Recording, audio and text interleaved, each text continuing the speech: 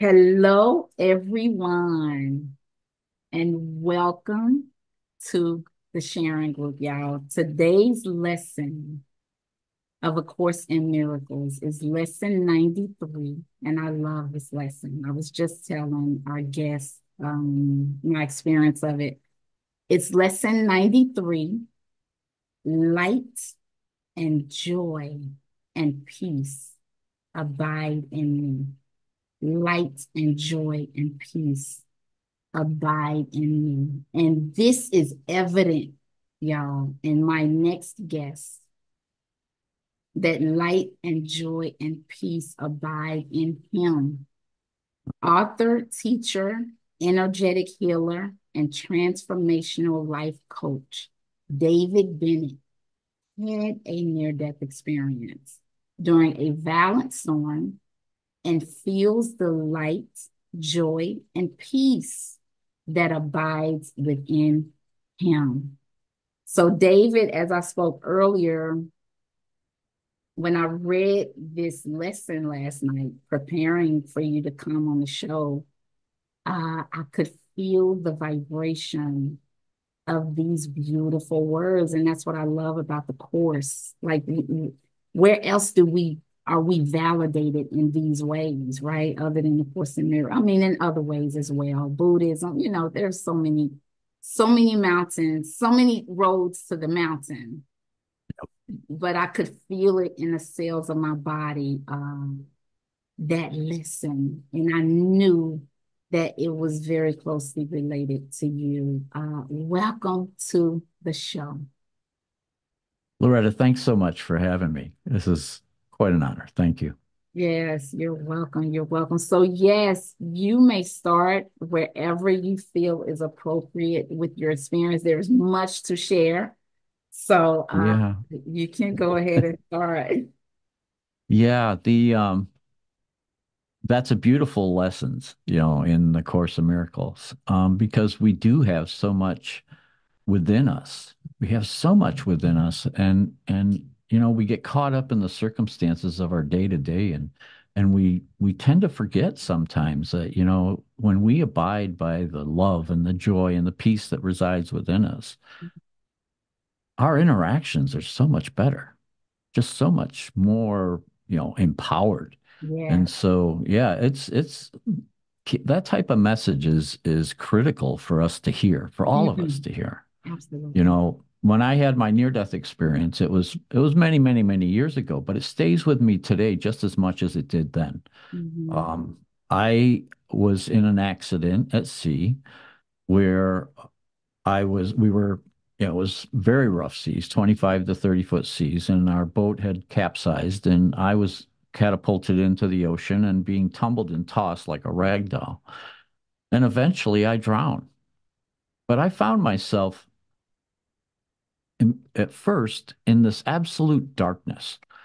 Now I know a lot of people that that would be frightening, but mm-hmm. for me it was very peaceful because I just died this violent death mm-hmm. of drowning in in violent seas, you know, being tumbled and tossed and and not knowing where I was or anything like that. So to find myself in this peaceful, calm, absolute darkness without the roaring sea, without the chill of the ocean, to be comfortable and peaceful, um, I was curious. I was more curious. I wasn't frightened as much as I was curious. Where am I? What what's going on? You know? And that's when I saw a light. I saw a light and it appeared as though I was moving toward it or it was moving toward me. I still to this day don't know which was which, but there was movement toward this light. And as I got closer to the light, the light appeared to be millions upon millions of fragments of light. And they were beautiful because they were all different colors. They were interacting with each other like as if they were one mind. When you you know when you see uh, a flock of migrating birds and they all kind of move in unison, you know, well that's kind of like the light. It it was it was in movement, and all these fragments were just so connected to each other. As I got closer, I started feeling these waves of love, just mm-hmm. absolute waves of love. It felt like I was being wrapped in a warm blanket of love, you know. Mm-hmm. And and three of the fragments kind of broke away from the mass and and and started greeting me Mm. and they were welcoming me home Wow. and this love of being welcomed home was just so incredible that I was I like to say I was in gaga awe of what Mm. was what what this was, you know. And eventually a dozen of the light beings came, they greeted me, they welcomed me, and they were supporting me at the same time. And they they kind of communicated to me. It was just uh, almost like a knowing, an understanding. And we went into the light, into this area that felt very spherical to me, like a giant bubble. We went inside. And then I started to relive my life. Mm. And I was reliving my life, but not just from my perspective, Mm. but from everyone that I'd ever interacted with Mm. From their perspective as well. It was like my consciousness had just fragmented into these multiple streams of consciousness all at once. And I could experience my interactions with everyone, you know, from their perspectives. Mhm. Well, my soul family, these light beings that greeted me, I considered them family because I recognized them as family. I recognized them as as beings that I've spent lifetimes with. Mm. And so Mm. they were experiencing it the same way I was. And to tell you the truth, because I was a brash young man, Mm. Uh, you know, I uh, I did a lot of things to get where I wanted to be, and I didn't really, uh, you know, I wasn't. I was very self-involved, and Mhm. so my my soul family had to see that, and I was I was I honestly have to say I was ashamed that they, you know, they had to experience that. Mhm. But they they didn't. They loved me. They supported me. In fact, if anything, they seemed a bit excited to be able to experience my life this way.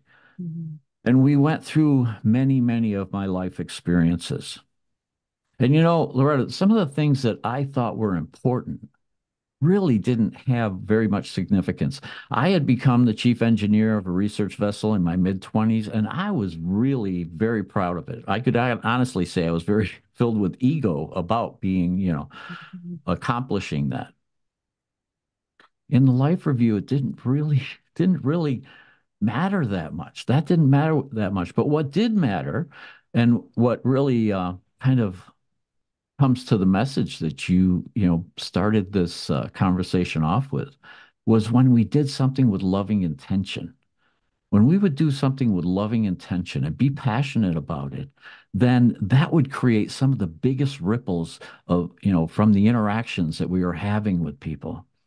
So it was awe-inspiring, incredibly humbling. I mean, I was, and and my soul family was just loving me and supporting me. But I eventually got to a point where in the life review where I didn't have a reference for what I was experiencing. Mm. Uh, it it was, it, and I didn't know at the time, but I was actually looking at uh, my potential future if I were to return. Mm. And it, it was kind of interesting because everything in the life review that I had lived was absolutely crystal clear. Mhm. Mhm. But when we passed that threshold of life and death, um, then it became kind of like I was looking down this corridor, and in the center of the corridor, it was very clear. But off to the periphery on either side, it was it was like a little out of focus. Mhm. And I came to understand that, you know, that rep kind of represents our free will. We have a path that we've agreed to in life, but we can go a little bit to the right if we want to, but we'll be kind of nudged back to the center and we can go to the left a little bit if we want to, and we can come back to the center. And one of the things that I enjoy in life is I enjoy I enjoy taking the curves. I enjoy, you know, I I really do like to squeeze the juice out of life. And so I tend to push the envelope, you know, that, that's that's who I am. I was a commercial diver. I was an adrenaline junkie, you know, and uh, and that's that's who that's a big part of the life that I've been living. And so we went down these future events until I got to a certain. And then the light, the these millions upon millions of fragments of light, it was all in unison, spoke, and it said, This is not your time. And it was this resonant, just very loving parental kind of voice, you know, that just said, This is not your time. You must return. And I said, No way. I am not going back because I found a family that that loves me. I'm feeling love like I've never felt before. Yeah. And and and I'm, you know, supported. Um, and I knew that body was just in the ocean. It was cold. It was, and it was dead. And I just had no desire to go back to that body. Mm-hmm. The light spoke one more time and it said, You must return. You have a purpose. Mm-hmm. And that word purpose just, I mean, it really just resonated with me. Mm-hmm. And the um the, the neat thing about when we're on the other side is is we have this expansive awareness, this expansive um consciousness. Um, where it's like we're connected to all the souls that ever were, to all the souls that ever will be. Mm-hmm. And that expanded awareness, when I examined the purpose, Mm-hmm. it was so simple, it was so efficient, you know, uh, that I immediately I, I could do nothing but come to acceptance. Mm-hmm. And so with acceptance, that's when I found myself back outside my body. It was still in the ocean. It was still being tumbled and tossed, but my my body had come close to the wreckage, and the bow line um, had wrapped itself around my arm. Mm-hmm. And when it and and another set of waves came and hit the wreckage, and there must have been a little bit of air left in that pontoon. It was a rubber Zodiac, and so it you know it was a inflatable type of uh, landing craft that we were in, and um, and it popped it up to the surface. And when it did, it it you know pulled my arm right up, actually dislocated my shoulder and my thumb, and pulled my body up to the surface. And I was just outside watching this, you know, and and I was and uh, three of the three original beings that greeted me were with me and and we went up to the surface and I was just pondering, you know, because when we're outside of our body, we become this light being that is so much greater than what we are in this physical life. And I was looking at my body thinking, how is the enormity of me going to get in there? You know, how am I going to? Yeah. And so a couple waves pounded my body up against the wreckage. And when it did, it pushed some of that salt water up Mm-hmm. and out of my lungs. And when when that happened, my soul family gave me a gentle push and I kind of just vibrated back into my body. And I like to say that, you know, dying is hard. Mm-hmm. Coming back to life, that's even tougher. That's a lot harder. Mm-hmm. And um, because you come back and you're like, wow, what was that? You know, what was that? Mm-hmm. What just happened to me? You know, and and um, I was an engineer and and I saw things pretty much black and white. You know, I didn't, I really didn't, and I had been thrust into a world of color, let me tell you. And so, you know, I didn't, I, I was just totally lost. And the thing that I was trying to hang on to was that purpose, purpose, purpose, purpose, but it was fading away. It was like sand in your hands. It was just slipping through my fingers. And it was like purpose, purpose. What was that purpose? You know? And and so I was I was pretty much fixated on that and trying to stay afloat. And and my the guys that were with me found me and we we had to swim a mile one more mile to get into shore. But but um, we all helped each other. We and we came together and we we made it into shore. But this event stays with you. Mm. You know, it's not like anything else. um, not like any other memory in my life, you know. Mm. Those memories are fleeting and they, you know, and you forget so much of your life, you know. But the experience itself doesn't. It doesn't doesn't go away. Wow, wow, wow. Thank you so much for sharing your experience. Um, so much of what you said,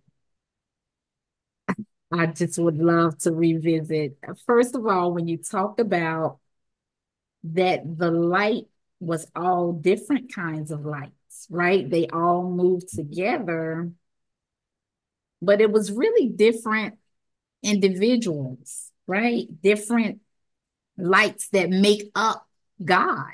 Is that is that and I think it's important for us to talk about this because now the buzz phrase is we are God. Well, it's hard for us, especially coming out of religion, David, to conceptualize how is that, right? And Yeah. so, yeah, can you talk a little bit about how God was Yeah. one body of many different beings? Yeah, it's it's a it's a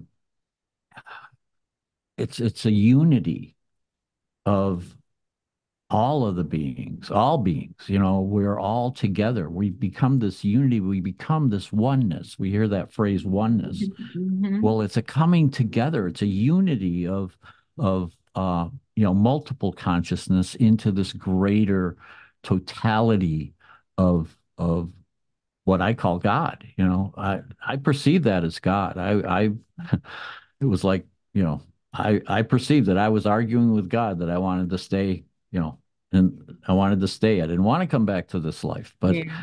but the when it spoke, it spoke with one voice though. It spoke with one voice that was just this incredibly intelligent, resonant voice that that knew, you know, it knew more about myself, it knew more about um, you know, my life than even I did, you know. So it was able to show me all of this, you know. So this greater consciousness that we're a part of, hmm that is, you know, that is, I believe that when we're in this life, that we bring just a small portion of our light with us, hmm okay? But the greater totality of our light our being, our essence, still resides in the oneness. And so that's our connection and that's our that's our threshold, that's our doorway to be able to, you know, connect with the divine within ourselves is because we're always a part of God and God is a part of us. So um but but yes, God is made up of all of us. And it's not just human beings, it's everything. hmm Everything. You hmm know, that's why when we go for a walk in nature, we feel so alive, is hmm because we're interconnected with with the nature itself, you know, with Mother Earth, with everything around us. So yeah, yeah, it to me that that represents God. That's God to me. I love that. I love that because we are slowly integrating this information of, of who we are. And it's a it's a great way to understand or understand, right? That hmm uh that we are a part of this oneness. And that was beautifully explained, David. Uh another thing that you talked about is it okay, so let's go back to your life review, which I think is so significant, right? You um, you know, you were a young man, you know, I've heard you talk about, you know, your childhood wasn't the easiest, right? So No, no. um, so having this life review with your soul family also viewing it, uh, you you know, there were you were ashamed of what you did, but it was no judgment from the soul family. And it just makes me, I've heard that when we have these lifetimes in form, that when we go back to source, it's almost like uploading all these different experiences right back into source, Mhm. right? Yeah, it's like a way that God is able to experience all through our interactions. And I love that you talked about things that you did with loving intention had so many ripple effects. Talk about that. Um, yeah, the I, I totally agree with you. I I perceive it pretty much the same way that um, that you know God gets to experience what life is here on earth through us. Mm-hmm. You know, it's that connection. You know, many people talk about, you know, the golden cord, you know, or and that's just that that connection of our light to, you know, the greater light of oneness mm-hmm. of source. And um and so yeah, you know, when when we die, it's it's um it, there's a process in in a lot of ways. There's a because we have to reintegrate into our light body, into our light being. Yeah. And and when we die, you know, um, when we're in this physical world, we're we feel shut off. Mm-hmm. We feel like we're separate individuals, and we suffer from this illusion of separateness. Um, but we can cross that threshold in life. But when we die, we totally cross the threshold. And so now, but we bring with us, like I, in the life review, I was ashamed that my soul family had to experience some of the more coarse things of my life, you know, mm-hmm. coarse episodes. And, um, but they didn't because they were in their pure essence. Okay. And they just loved me and they supported me because we were a soul family. And so, and they've been guiding me all along and they continue to guide me to this day. But the, but the, in the dying process, we have to, we have to learn to let go mm-hmm. of all of that, you know, of, of all of those, those things that we hold on to, uh, to let go of the egoic mind and, and the, the, you know, the, the critical mind and things like that. We have to let go of that mm-hmm. so that we can become our pure essence of which is love, you know, because love is what really kind of holds us all together. It holds the universe together. Yeah. And so, you know, but in in life we we don't work that way. You know, we don't we allow ourselves to be so caught up in the circumstances that our awareness is at its lowest level. Yeah. It's when we can raise our awareness above the circumstances that we actually achieve clear vision mm-hmm. and we actually achieve you know the ability to make empowered decisions that are that are lo- filled with loving intention that sort of thing. So yeah that there's a process in in dying of of letting go of our humanness you know the more mm-hmm. dense elements of being human because we no longer have to live in the circumstances. So we don't need to hang on to that. But there's but but because we're you know transitioning we have to you know we have to let go. And so you know you hear about a lot of these near death experiences and they're all different. It's because each and every one of us has to let go in our own way you know? And so that's why there's so many different types of NDEs out there you know is is uh, at least that's my belief that that you know we have to let go and we have to transition back to our pure essence of who we really are. Mm-hmm. And it took you, thank you for that, David. It took you a while, I understand. Um, I've heard that for a while, you said you felt like you had one foot in this world and one foot still on the other side. And it took you a while to to really accept, use the word acceptance is a huge part of your experience. To accept that you've had this experience and integrated. Talk about that because I know that you felt like you couldn't talk about it for a while.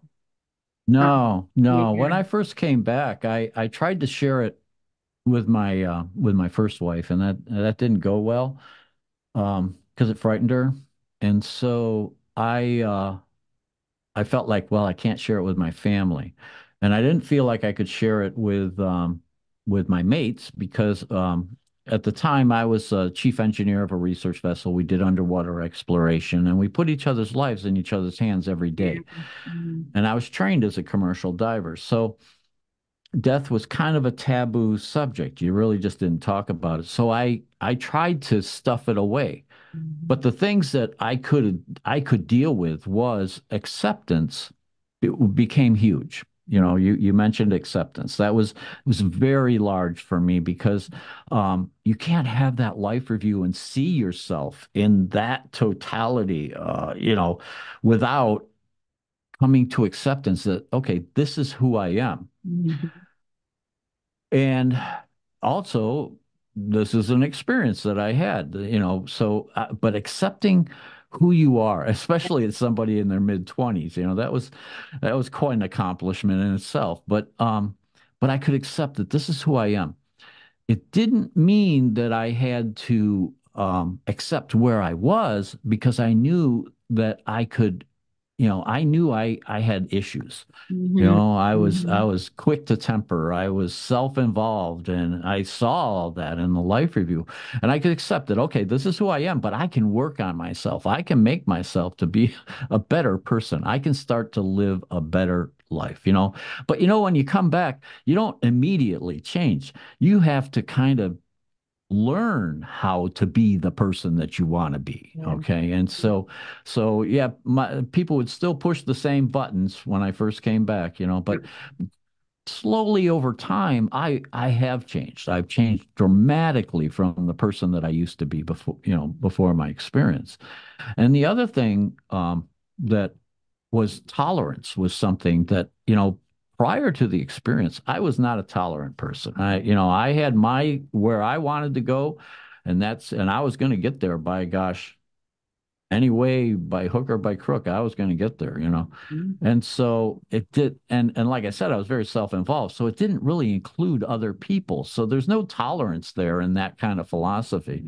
So I, in the life review, I saw that so many people crossed my paths and that they are, we talked to, you know, a minute ago about, you know, that illusion of being separate individuals. Well, we're all wandering around, you know, trying to forge a life Mhm. and we're all making decisions and we're going to cross paths. And there are many times that I'm going to cross paths with someone who's making decisions that I don't agree with. Mhm. And that's okay. I could be tolerant because that's their life. That's their life choices. That's the way they're choosing to live their life. Yeah.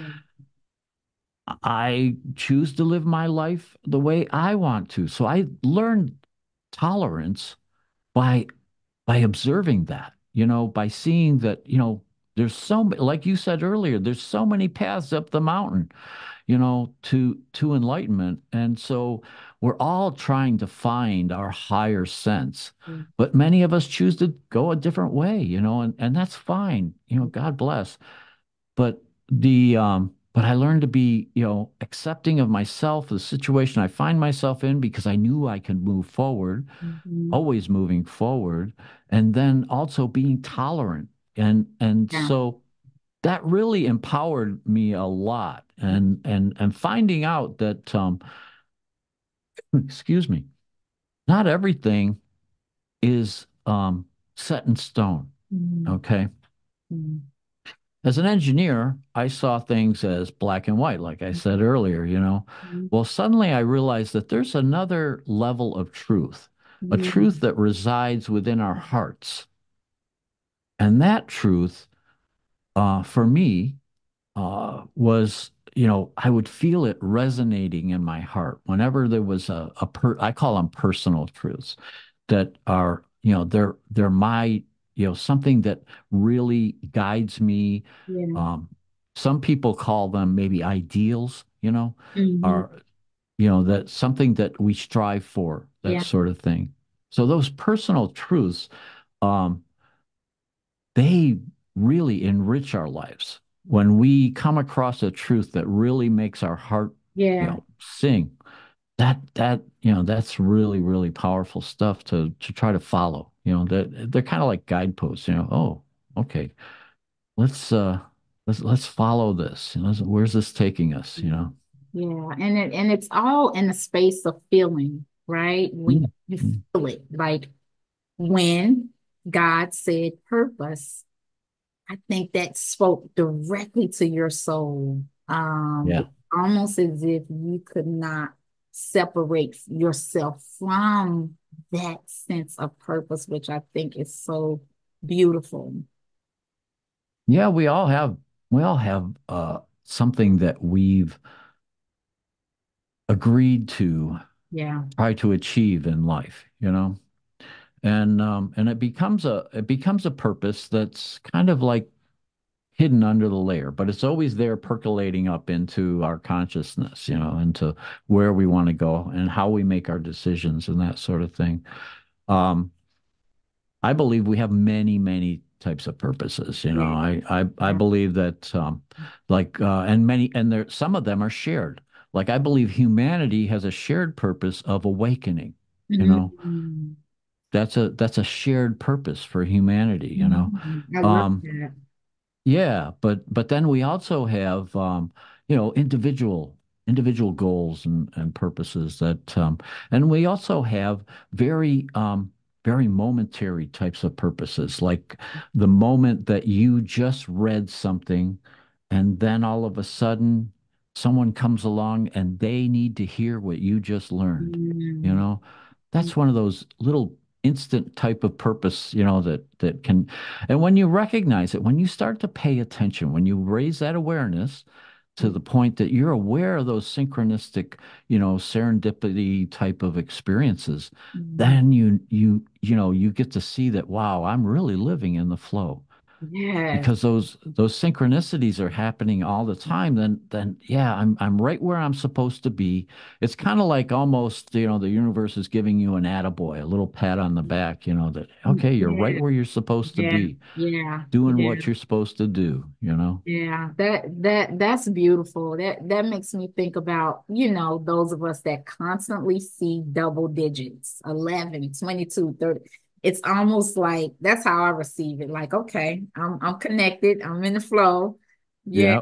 yeah Um, please tell us, David, about your near-death like experience. You had another spiritual experience, which I think is so uh beautiful. yeah well i i've kind of had a few but um the the two that really stand out are um 11 years after the original experience Mhm. um i was with a spiritual group that I uh, cared deeply for, and and they were going to Arizona, to Sedona, actually, to uh, on a little spiritual retreat. And I grew up.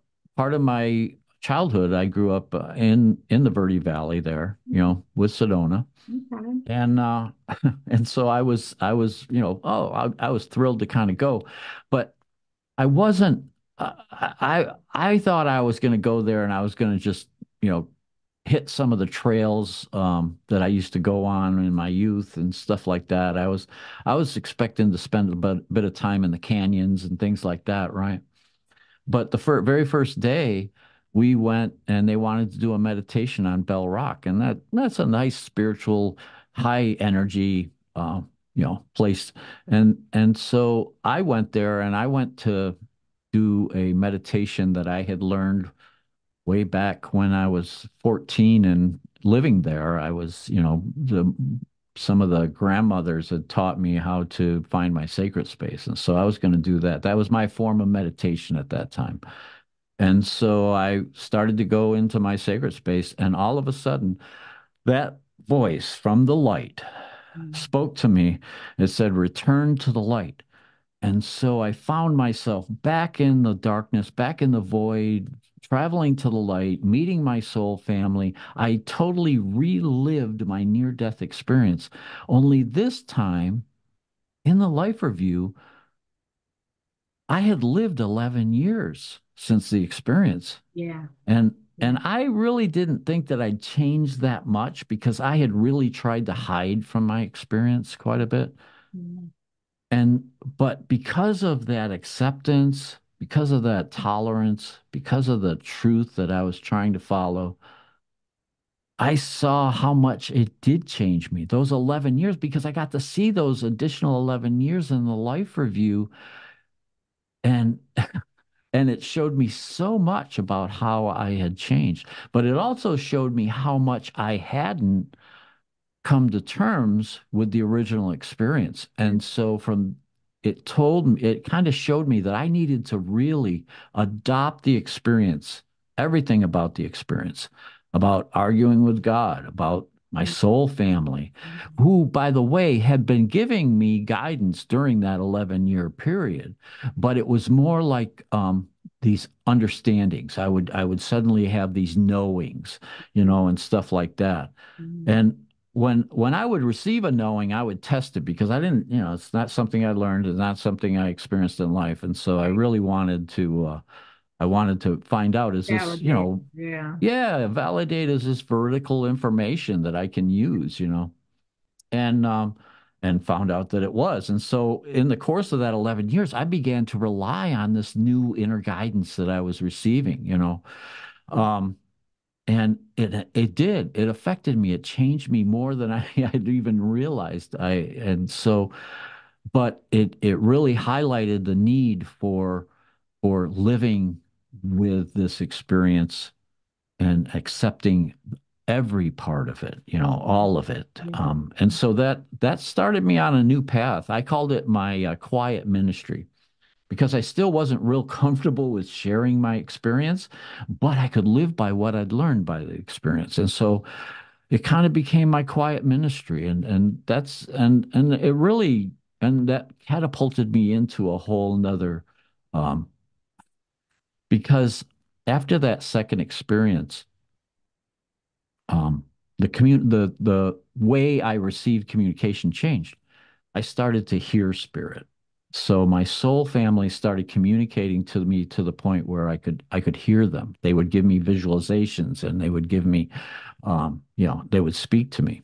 Mhm. So that really altered and and there's another adjustment period, another integration period with that, you know, because you think, oh my gosh, I really I've lost it now. I'm, you know, I'm waiting for the guy with the white coat to put, you know, take me away. But um, you know, Mhm. I'm hearing voices. You don't say that in Yeah. public, right? Yeah. Yeah. No, I get it. I get it. David, ah, there's so much more. There's so much more. Can you briefly tell us about your experience with cancer? Um, and that this this near death like experience that you had where you returned to the light, you were given information that actually kind of carried you through that process. Can you talk about that? Yeah, in the uh in the original experience uh, when I talked about um looking into the future and previewing, um I saw there that I was going to deal with cancer. I also saw I was going to live beyond it.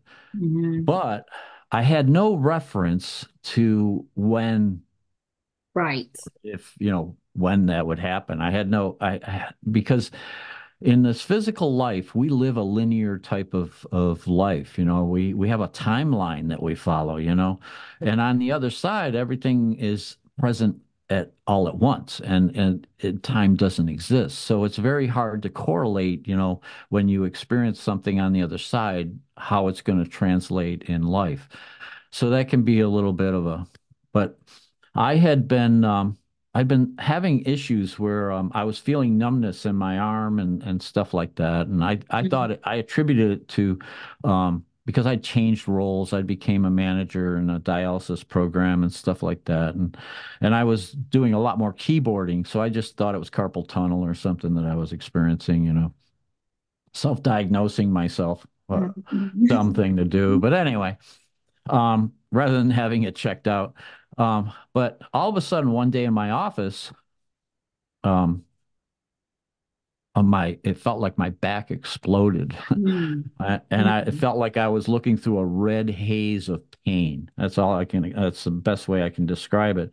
And I was supposed to have a a meeting with the director, and I I went to her office and said I I can't make the meeting. I'm going up to the emergency room. I'm in a lot of pain. And so I, I went up to the emergency room, presented myself, and when um when I you know told them the the problems that I was having with numbness in my arms and this and they they, they immediately thought I was having a heart attack, and so you know they put a 12 lead EKG on me and stuff like that, and a lot of details. But anyway, they ruled out a heart attack and they sent me for X-rays, a serious set of X-rays, and um, very painful.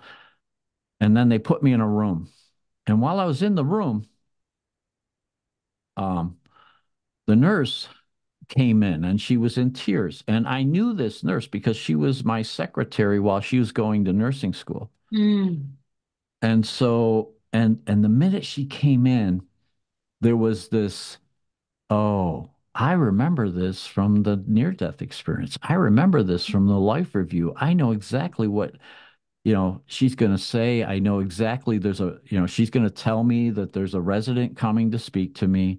And, and she kind of steps aside. And a few minutes later, the door opens, in comes the resident. And he's sit, standing there and he's hemming and hawing, you know, kind of like, well, Dave, you know, um, because you got to remember, I'm a manager in this hospital. People Yeah, know me from all the different departments. Okay. Mhm. So, um, so they uh, he finally you know says you know well we found a mass and it's metastasized out of your spine um, it's eaten away uh, a great portion of your thoracic um, two and a half bones are gone and Mm. your and the tumor can't support the weight of your spine and your spine is collapsing Mm. and and so we need to do more tests and so they hospitalized me and um, and and they were uh, they were, you know, they did a, a whole bunch of tests and they found out I had lesions in my hip, my brain, my kidneys, Um, and it was moving through my body very rapidly. And they told me I only had anywhere about eight weeks to live and I need to get my affairs in order. Well, if I can say no to God, I figure I can say no to them because I saw that, you know, I was going to have cancer, but I also saw I was going to live beyond it. I Yeah. didn't understand the severity of the diagnosis that I had. Uh-huh. I, I mean, I didn't know it was going to, the prognosis was going to be that bad, but, um, but I knew I was going to have it. I also knew I was going to survive it, even though in medical terms, they like to put five year survivability statics on all diagnosis, you know, Mm. and uh, my mine had a one tenth of one percent survivability, you know, five year survivability, and um, and so it was very bleak in their terms. So they didn't even want to treat me. They just were they had prescribed morphine and Percocet, and they were just going to tell me to put my affairs in order and try to stay as comfortable as possible while I expire. But I said, no, I'm not going to do that. Um, remember, I like to live on the edge, you know. Yeah, Um, so anyway. so but so I ended up I ended up going through uh, holistic. I used a combination of my guidance. Here I've got this guidance, right? It's it's here to help me, and it was because of that understanding that I was going to survive it, that I was able to keep a very positive, positive outlook because I believe that that's critical for anybody going through any kind of terminal um, disease or, or diagnosis that, you know, our attitude really affects. And there's scientific uh, studies that have proven this, that, you know, our, we, a positive attitude helps our immune system. It helps boost our immune system and things. So, I, you know, I was very clear that I was going to survive this. There was no doubt for me that I was going to survive this. So I took a combination of holistic approaches, but also I treated it with traditional medicine. Here I I worked in the hospital, you know, and so I was able to pick my care team, and we were able to, um, you know, pick a a, a a traditional path as well as I was used my guidance to find, you know, holistic approaches to balance everything out. And so within six months, I was cancer free. David, that is incredible. I still had a broken spine. I mean, you know, I, you know what? I um, you've said some. I've heard you say something in a previous interview I listened to that I loved. Um, you said that once you overcame the cancer, your doctor, you had a doctor say that he believed it was going to come back, but you said that was his truth. That yeah, was not your truth. And I thought yeah, that was so powerful, right? Because we yeah, all create our realities based on our belief system. yep, And I love how you did not accept You Yeah, they accepted that they wanted to treat it. Yeah, they wanted to treat me further. And I said, "No, the cancer's gone. We don't need to treat it any further."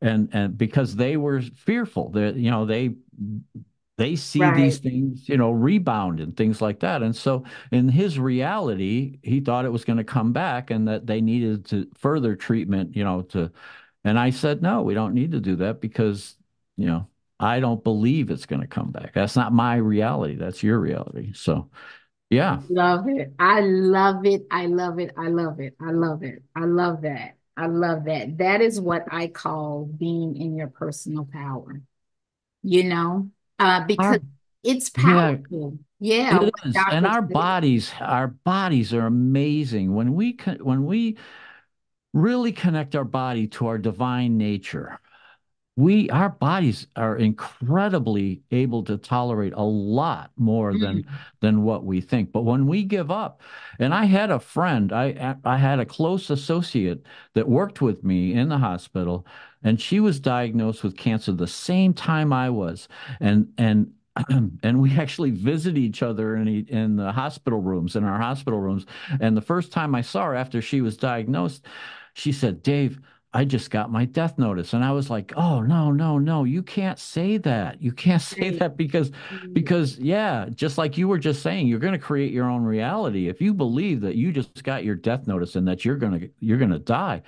They told me I was going to die. I don't believe it. I'm not going to die. I'm going to, you know, I've got a lot of life to live yet. So, so yeah, you know, we have to, we have to, um, we have to realize and but but it's not just us we're not just saying it we have to really feel it and know it you know um and and and but that's that's that connection to our divine nature you know when we when we work with that we have you know we have a greater understanding of and we can work with our body. The thing is is to go gently always move gently with ourselves Mhm, because um and and to be patient. Um, a lot of people think that it's uh, I'm just going to flick a switch and I'm going to be all better.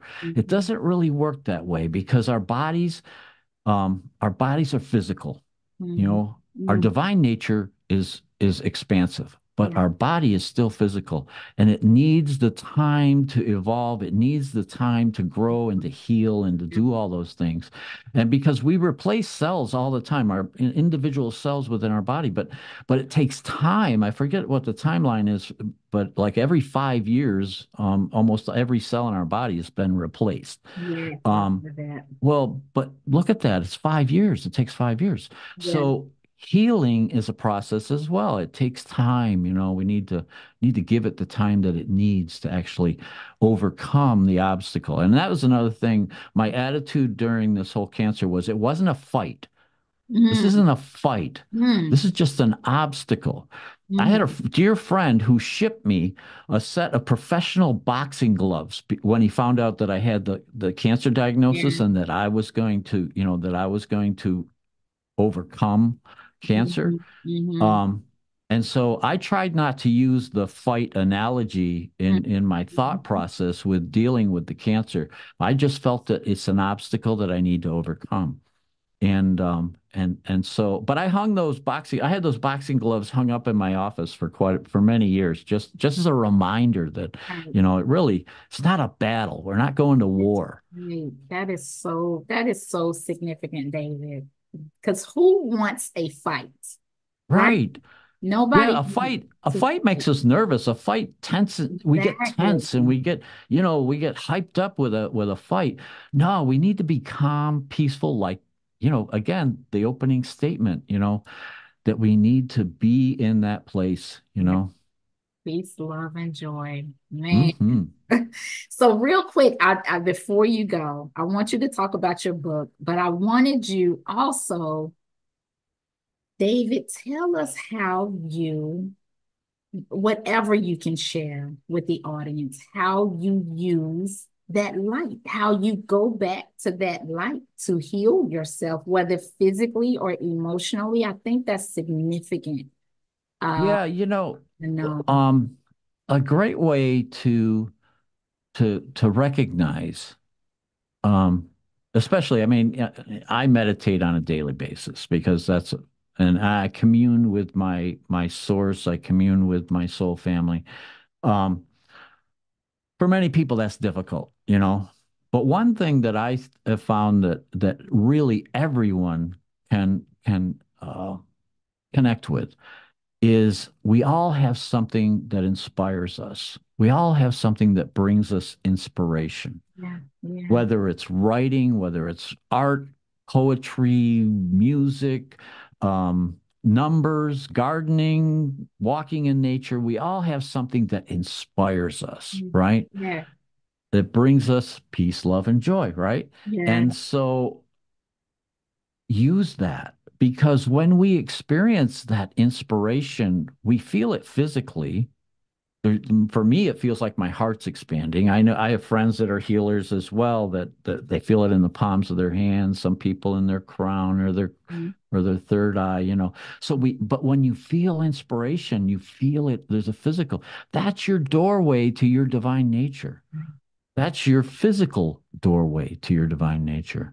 And so connect with that yeah, connect with that you know use that um use that in moving forward because that is how um i had i was fortunate enough to have a mentor another near death experiencer margaret who taught me how to return to the light but she showed me where my threshold was. But mm, we can all you know be detectives. We can all be uh you know live in a state of wonder where we where we find our threshold you know? Yes. Yeah, I love that. I love that. That's significant because a part of the beauty of the near-death experience is the high vibration, right? That you all experience when you have it and the downloads that you come back with. But to have the ability to go to that place without having to die, right? Right. Without having to be injured into like we all have access to that light and that peace and that love within us. So I love uh that you referenced ways to to go and it is through inspiration.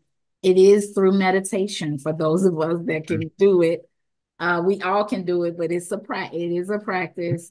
Uh yeah returning to that inspiration i love it Yeah, because inspiration, where's it come from? spirit right Exactly, right right? yes Yeah.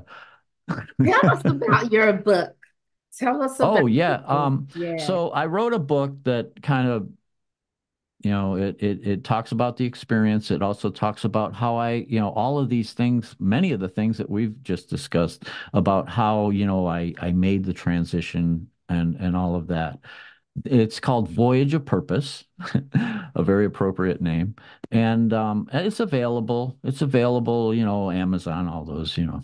I don't know if you can advertise that on your on your podcast, but um, but anyway, you know, there's there, or you could go to my website, or if you want to reach me or reach or connect with me on social media and stuff like that, you can go to my website. That that has links to everything, and um, that's um, Dharma Talks, D H A R M A T A L K S, dharmatalks.com.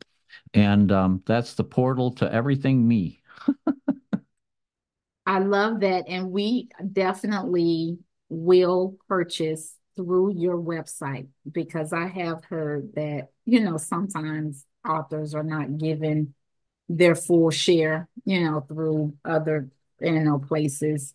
Um, you're right. Yeah, yeah. So, The um, royalties on my book are not that great, but um, but you know what? Uh, I I I do have many, many, many copies here. I I have, you know, and the book has been reprinted. It's it originally came out in in 2011, so it's been reprinted a couple times, and and my publisher is is uh, you know continually to keep this one because many books, you know, they they if they go through a traditional publisher, they're only published for so many years until, you know, till the first uh first draft is done and then they they look to see if it's worth, you know, redoing. But I guess they like my story and so they keep it on keep it on the bookshelves. your story is fascinating. Everyone who's listening to this, we have not even tapped the surface of David's wisdom and experiences. Like I,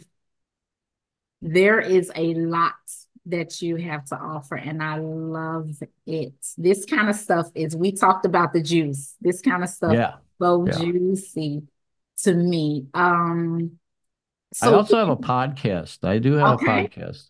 Okay. Contemplative living. It's um if if you go to YouTube and you search for Dave's Dharma Talks, um, you'll find um, and on that on that YouTube channel, there's a, a, a stream that's called Contemplative Living, and every every week I give a short little 15 minute about some spiritual aspect that helps us to have a contemplative life. Mm, I love that. Yeah, that was that was actually we've run out of time, but that was actually one of the things that I wanted to talk about, the contemplative living. But everyone definitely stop by that um by that podcast uh, and by that YouTube channel and just get these these nuggets of wisdom um from you know from David. So David is the is the website the most appropriate place you would like folks to go to if they had questions for you? Yes, yes. Dharma Talks is the is the best way to reach me and and there are links to the podcast to all my social media streams there. Yeah. Okay. Any lasting words of wisdom? And is there anything else you wanted to talk about before we close this out? You know, uh, the thing that I like to share with everyone is is that you know love is present for all of us. Mm. I didn't realize when I before I died that um, how much I was loved, and that love is available for us, and we don't need to go searching for it. That it resides within each and every one of us. And mm-hmm. Spirit is patiently waiting for us to connect. Oh, you just like put a shot into my heart when you say that because I know David that was not like like many of us that was not your experience in childhood you did not experience a lot of high vibratory love and um, that was one of the things that you mentioned is when you connected with this soul family, it was like, oh, these are these are my people. I feel loved, you know. So that's beautiful for you to say that love is present for all of us. Uh, that's I, I love it. I love it. Um okay, I am going to uh I also wanted to say before I before I close us out with the closing remarks. And I feel compelled to mention this that when you, after you had your first NDE, and then when you went back and experienced another life uh, review after 11 years had passed, that though in your mind, David, you had not made that much progress. Seeing that life review, you realized you had made tremendous progress. And I wanted to share that with everyone who is listening to this that to us, we may not feel like we are doing anything significant, right? But we are growing, we are evolving, and we are impacting others, like David talked about. When we act from a loving intention, it does go out in waves uh, to the collective. So I just wanted to to say that. Um, so David, I'm going to read your closing remarks and let you know go. You have been so generous with your time with us. So, David, one of the most striking factors about your experience holds the key to one of the most basic needs we all have in this dimension. And that is simply the knowledge that everything is going to be okay. Sometimes we all want to know in our hearts that everything will be okay and that there is nothing to be afraid of. After being diagnosed with stage four lung and bone cancer, you knew in your heart that you would overcome the condition that you would live beyond the treatments, that no matter how painful the experience or daunting the diagnosis, that you would thrive to become even stronger than before. And though this knowledge did not shield you from the painful processes you underwent to restore your health, it did serve as an anchor for you to remain grounded in the truth of who you are. That despite the content of your life, despite the circumstances you were faced with, none of it took away the fact that you were and are a divine being of light, that you are not your body, but a part of a beautiful kaleidoscope of love, which knows no boundaries and has no limitations. And so, after hearing your experience, David, I thought, wow, if only everyone knew that they too carry this spark of light that defied any diagnosis, no matter how grim it sounded, that no matter what experience the outcome produced, that we can all be carried with the gentle knowledge that everything will be okay, that we have already won and will continue to win over and over and over again, lifetime after lifetime.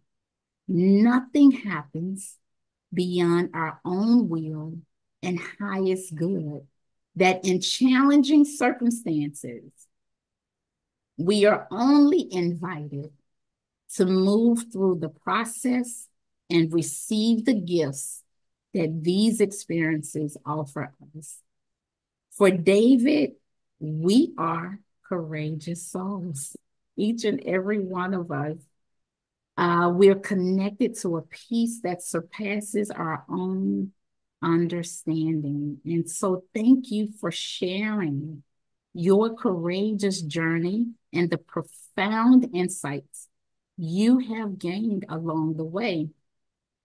Every time you share your experience, David, you sprinkle seeds of light along the way that do, in fact, cause a ripple effect that you have yet to understand its incredible impact. I think in your next life review, David, whenever that will be, will please your soul beyond measure as this sharing too, this sharing that you do is also connected to that divine purpose that God spoke about during your near death experience. Thank you so much for being here on this planet with us. Thank you.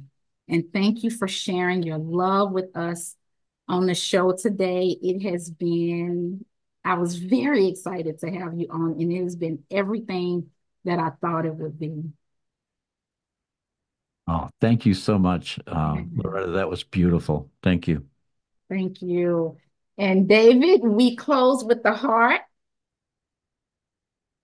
There you go. I love it. I love it. I love it. And thank you, everyone. Thank you, everyone who who who hung in here with us and listened to David's amazing journey, please feel free to go to his website and his YouTube and just continue to learn uh, and just interact with him. He is such a beautiful soul.